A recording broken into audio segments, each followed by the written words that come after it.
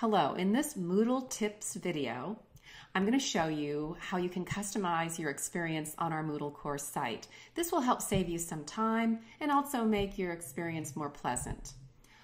I'm viewing the course in a student view, so this is what it looks like to you. And you've probably figured out by now that I'm using a weekly format. It shows the dates of the week at the top, so you can instantly identify where you are in the course or where you should be. And also you may have noticed these bars at the side of a weekly topic area indicate that we're in that current date. That's what these bars are for. Now, as the semester progresses, of course, we're going to have more and more weeks available, which means you'll be scrolling down and you may not like to scroll. I don't like scrolling. So what you can do is you can click this little box at the upper right hand corner and decide you want to show only week three. So as you can see now, we only can see week three, but you do have this drop down box so you can look at week four, week five, whatever weeks are available to you. If you decide you don't like that, just click the box that says show all weeks and you're back to the showing all weeks.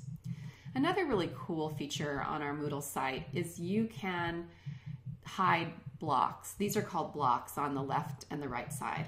So let's say I don't want to look at this EdTech 501, or no, let's make it, I don't want to look at this technology teacher blog.